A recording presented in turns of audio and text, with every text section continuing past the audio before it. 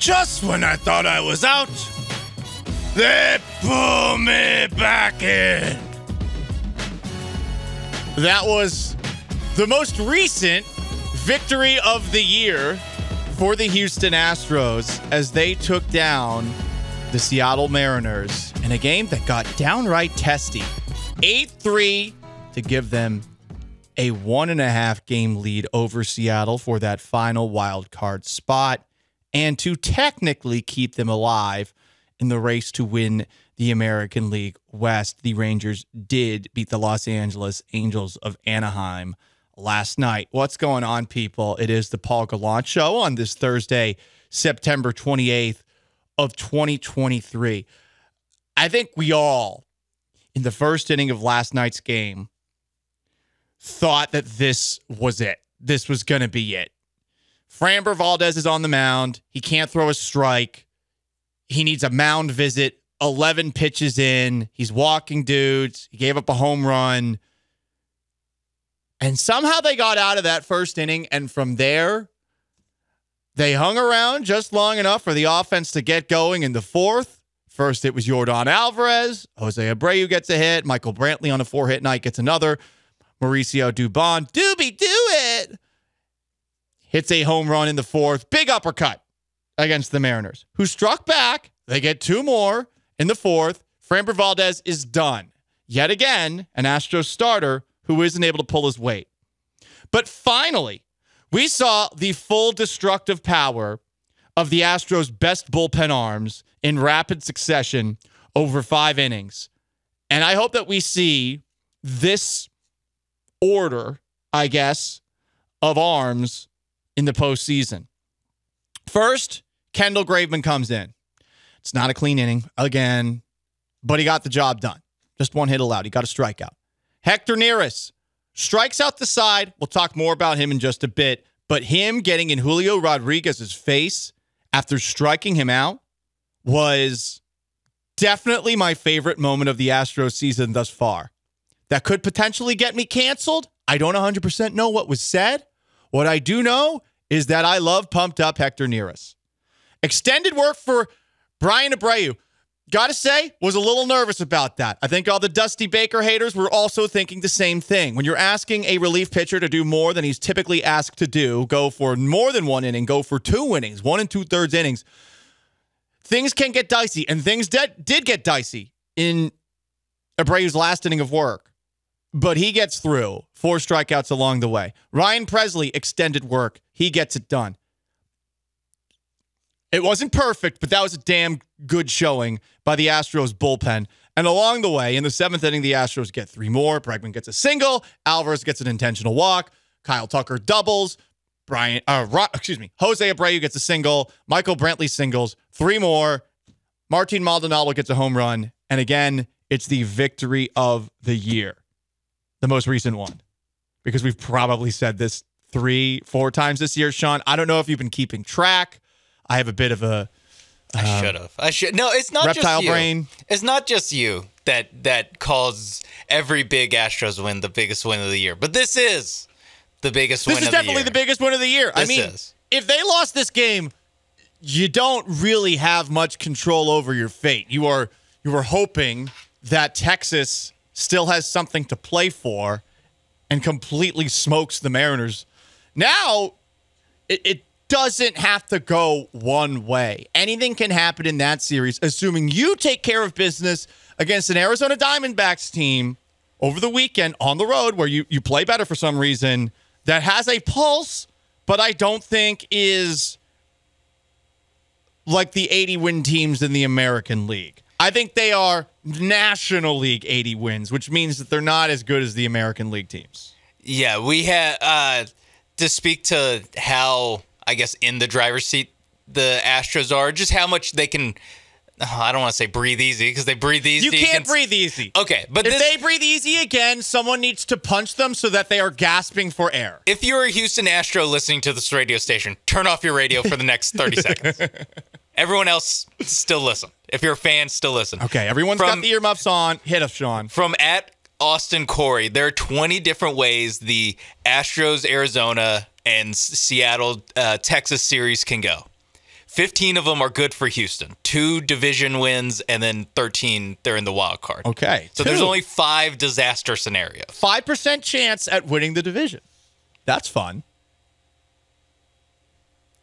We'll see. But yes, focus on just getting in, take care of business. How about a nice little sweep to wrap things up? You got the day off. You got a weekend ahead of you. You had the day off last time after beating uh, Baltimore in that last game of the series. Felt like that was going to give you a little bit of momentum, and then you pooped your pants against the Royals at home. Yes, if you're an Houston Astro, you can listen back now. 100%. Now, I don't know if they would know to tune back in because we told them to stop listening. Well, maybe they're in the car with like someone else and they just did earmuffs or something. I'll be honest, Sean, telling them to change the channel when one of those Astros players, I don't know, like Kyle Tucker, who's underpaid, might be wearing a PPM meter, you know, to, to get paid $20 a month.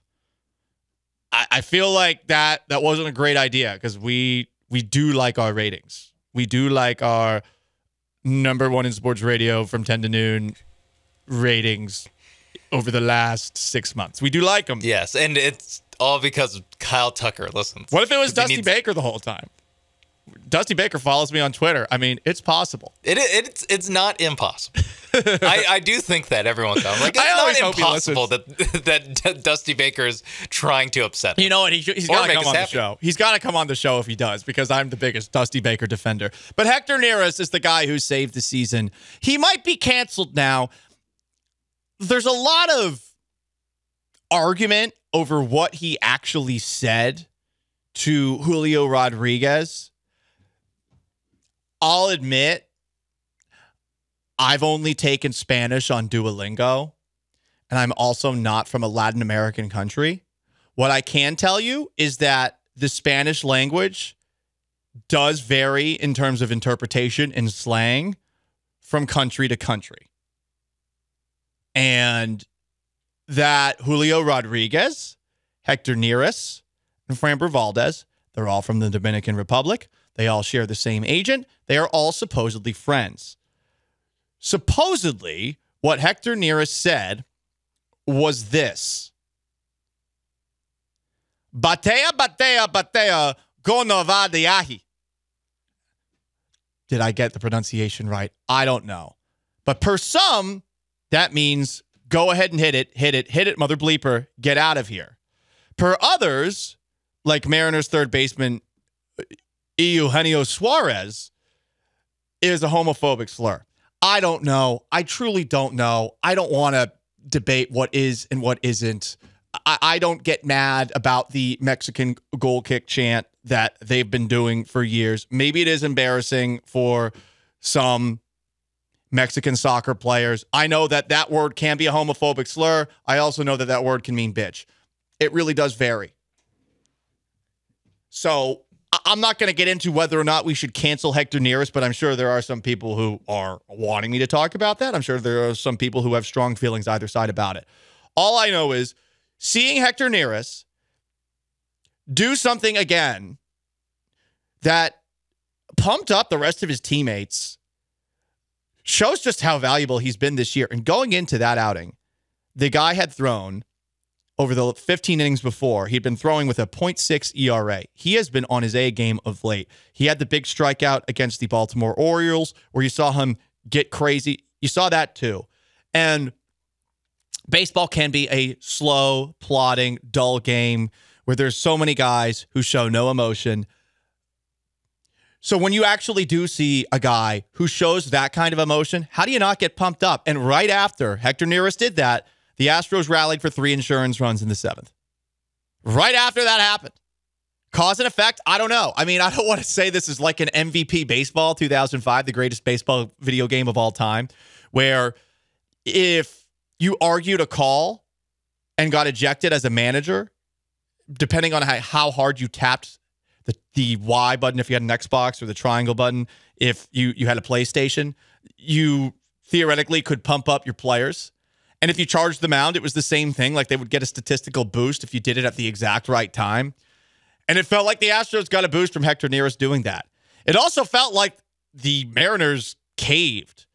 One of my friends who is a Seattle Mariners fan, who has been slowly thinking like me that the Run DMC outfits going into New York were a mistake. He thinks that the Mariners are fake tough guys.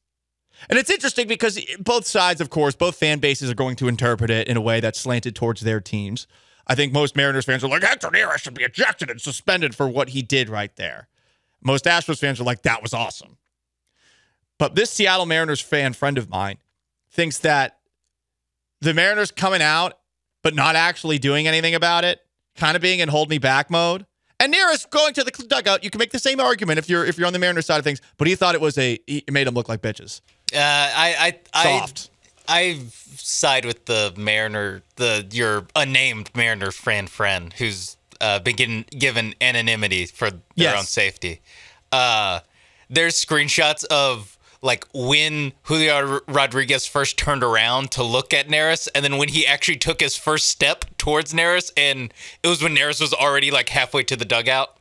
It was a little Joe Kelly-ish, uh, where it's like, oh yeah, he eventually stepped to him, but he waited until four people were in in, in between him. Here's my question though, especially with these two as friends, who hasn't gotten in some sort of shouting match as a guy with one of your guy friends and then gotten over it like 5 minutes later? Uh, This has happened to me before.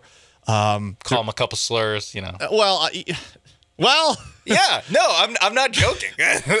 Back, you know, back when it was cool to, to say those things, uh, who who who's gonna say they haven't done something like that? I, I I'd love to say that we're all like uh, we're all morally pious, but I'm just gonna be honest. Like, I've done that before. Um, in that situation, what are you supposed to do? If you're Hector Neris, are you supposed to stay there? And if you're Julio Rodriguez, are you supposed to actually do something about it? Are you supposed to shove him? Or are you supposed to punch him? As a man, let's just talk about it. Like man card, man code. Like what are we supposed to do in that situation? Wh- Whatever the case, I- think Rodriguez was a little bit shocked. He said he was shocked afterwards. he he And by the definitely time he- looked shocked. and by the time he realized what had happened, Neris was going off to the dugout, maybe thinking that, okay, if I keep on doing this, I'm going to get ejected. I'm going to get suspended. Honestly, I have no idea what was going on in the two of their heads. All I know is thank God that happened because, you know, it's a late baseball game on the West Coast and, and Paul was getting tired. That was- a nice little Donnybrook to, to, to wake you up. You know, it's like a nice cup of coffee, a nice little espresso uh, after after a heavy Italian meal. You know, Especially like at the end of the sixth inning, because that's like when you need it the most. That's when you need the like, oh, I need Yeah. to lock back into this. Like, oh, okay, here we go. Uh, yeah, no, I I loved it. I thought it was great. I mean, Hector Neer. I I think there was. I mean, it's hard to like say for sure there was a cause and effect, but it definitely seemed like It there did was a, seem like it, a yeah. cause and effect of. It, it was kind of what the Astro, the kick in the pants that the Astros uh, needed. more people are talking about what happened in the sixth inning of last night's game. Astros are up 4 3. Hector Neris takes the mound, faces four batters, strikes out three, including his friend, Julio Rodriguez, at the very end. He was on fire going into that performance, a 0.6 ERA over the 15 innings before, and he lost his mind in a fun way after mowing down Julio Rodriguez. I don't think I've ever seen a pitcher walk that far down to home plate to rub it in a batter's face that he struck him out. Seriously, I don't think I've ever seen that. Some people are going to call it Bush League. Generally, they would be Mariners fans. Others are going to call it awesome. Mainly, they are going to be Astros fans. And when you think about it, honestly, Astros fans are the only people that are probably going to like that. It was surprising, unexpected. It led to both benches clearing. And it really did feel like Neris got in the Mariners' head in that moment. But a lot of people are wondering what the hell Hector Neris said and why this actually happened. So, first glance, internet sleuths went back to 2022. There was a moment where Julio Rodriguez hit a two run homer right after Hector Neris had hit Mariners batter JP France. He made some gestures while rounding the bases that the Astros probably didn't like. Hector Neris, I think, told J Rod something. I'm not, at this point, I don't know what is and what isn't a Spanish cuss. So he said something to Julio along the way. But these guys, Julio Rodriguez and Hector Neris, are friends or have the same agent, possibly both. These are guys that both calmed down Framber Valdez when he was having his meltdown against the Mariners a couple of weeks ago. They all have the same agent. They all seemed like they were there together. It didn't seem like there was any bad blood between the three. But this is also a guy in Hector Neris who we know doesn't really care when he's going up against his friends or teammates. He he just wants to win. Remember the World Baseball Classic? He tried to kill Jose Altuve. He was trying to brush him off the plate. It's a World Baseball Classic. I respect that level of competing a guy. I truly do. But this is a guy who clearly does not give a bleep about friendship when there is com- competition going on. Yes, runs hot. Probably, I, I, he should play football. I'll just leave it at that. He should play middle linebacker for somebody. I would love to see that. Truly. it's, it's that kind of juice that he's bringing to all these baseball games. Right. And, and it doesn't matter if it's his friend. And look, guy friends do get in fights and we get over it. I think I've told this story before. I'm very thankful that there was no camera phones with good um, cameras back in the day. But one time, after me and my buddies all dressed up as these Spice Girls for Halloween, I felt like my friends had ditched me at a frat party and I felt embarrassed. So went back up, yelled at them a little bit. One of my friends, who was bigger than me, came down, and the next thing I know, me and him, while still dressed as the Spice Girls, at least the wigs were off at this moment in time, we're rolling down the stairs, just beating the the absolute bejesus out of each other. Almost cussed, good save, beating the hell out of each other. And eventually, he won that fight. Like he he won. He he got me in a in a spot where he was about to break my uh he was about to break my arm, and I was like, damn it. So I, I tapped out. Next day we had we had breakfast together like it was fine. I'm sure he felt very proud of himself. I didn't feel that much shame because I was like, well, I mean, he's bigger than me. What am I supposed to do here? I, I stood, I stood my ground. Yeah, normally the guy who wins the fight isn't still upset the next day. Definitely not. No, I wasn't still upset the next day either. Yeah. Though. Again, I've told you two and four career fight record. That was that was one of the L's. I was wearing a dress while that was happening. So, um, yeah. So, but we got over it. We got over it right afterwards. Do you think that you had gotten mad about your friends ditching you at the party if you weren't dressed like I don't know, baby no, spice. Not at all. I wouldn't have cared. Not at all. Yeah. So it's because you were wearing a dress. You're like, I now I'm just the guy in the so in a dress what, at this party. Here's what happened. I got in and they didn't get in. I thought they got in with me. They didn't get in. I got in because apparently I looked like a lady. What a surprise. Isn't that hilarious? My sock boobs. I just had like I had this one this long dress, stuffed sock boobs, and, and no one saw the hairy legs because it was like a long like knee knee length dress. And my donk, I guess, was popping enough to to pass as a lady. So uh, there you go. College stories. Why did they? Uh, I get. Never mind. I was gonna ask why didn't they like text you that they didn't get in and you did, but. Uh, well, I think this was during a time where texting was not as easy. Oh, well, also because I. I stopped myself not because of that, but that is true. I had a flip. But, I had a flip phone then. Like you had to, you had to press like one one one. Yeah, yeah, yeah, it's terrible. Uh, no, but you also were wearing a dress, so you didn't have pockets. Uh, correct. Yeah. Yeah. I guess you could hold it in your sock boob. Yeah, put it in my sock boob. anyway, to go back to this, guy friends get mad at each other, but people are mad about what he potentially said, and everyone thinks they know with a certainty, and I'm not sure if anyone really does. Um, asked what he said to Julio Rodriguez. This is what Hector Neris said. It's like if it if he hit me, I got you. I just say, I got you. Um, asked a little bit further about it. Here's the audio of Hector Neris.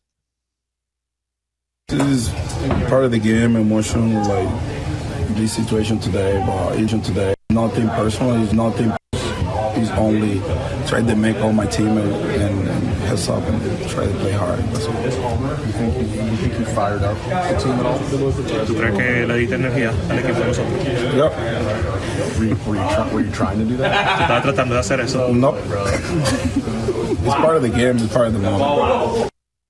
So it's part of the game. But others are saying he said something else. Julio Rodriguez was shocked by what Neris said. And per Mariners third baseman Eugenio Suarez, Neris directed a homophobic slur towards Rodriguez on Espanol. Some believe he said, sit down, word that begins with C. I'm not sure if I can say it on the air. Truly. I, re- I, I'm really not sure what the FCC Spanish. Uh, I don't either. Rules are, but yes, do do not say the the one that starts with C. He said "inye" in it. Per lip readers, he said "batea, batea, batea," c word, va de ahi, which is supposedly Dominican slang that essentially is go ahead and hit it, hit it, hit it, mother bleeper, get out of here. And this is where it's tricky because, look, as you can tell, I'm very white. I'm not someone who knows a lick of Spanish. I took Duolingo. I forgot everything I learned on Duolingo. Had a 60 day streak at one point. It goes to show you it doesn't really help you that much. Maybe I should take Babbel. But anyway, to bring it back, there are so many words that can be interpreted in a variety of different ways in the English language. And when we culturally look at it through our prism, we are going to potentially hate what they said a little bit more than what other people say. And we're going to act differently because of where we're raised and who I guess we're around and what country we're in than other people. And there is a dynamic in Latin culture of homophobia. It's there. This isn't me saying that every single Latin person is homophobic, but with certain cultures, I would say in in in other cultures that again I'm not a part of, but like I would say uh, among black people that there is a little bit more like pushback against it than there are with like white people. Am I wrong? So again, just my observing here. So when it comes to a word like this, I know that there's a p word in Spanish that I can't say on the on on the air probably either. That is interpreted as either bitch in English or homophobic slur in English and it like varies person to person. And, and this word is in the same way. So th- this is going to sound like a devil's advocate defense of Hector Neris. I truly do not know if that word is offensive or, or not. I think the only people that really do know are Dominican people because these are two Dominican guys going back and forth with one another who clearly know each other.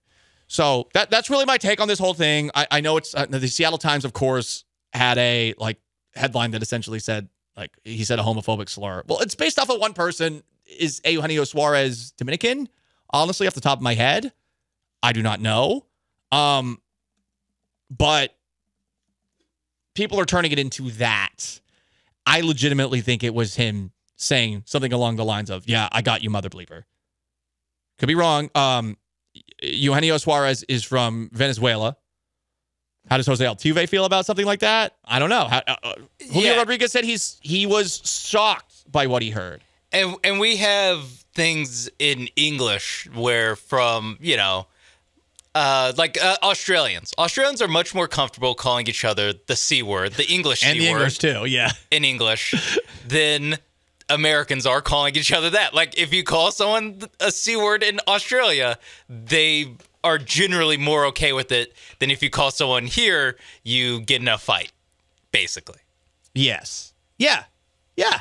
and it could and again this is two white guys talking about how different latin no- americans uh, uh, interpret spanish curse words but in in my little white brain that's how that makes sense is that it, it it's one of those situations And and look, we're we're naturally going to be a little bit biased towards Hector Neris right now. We are because we liked we liked the visuals. We do not know the audibles.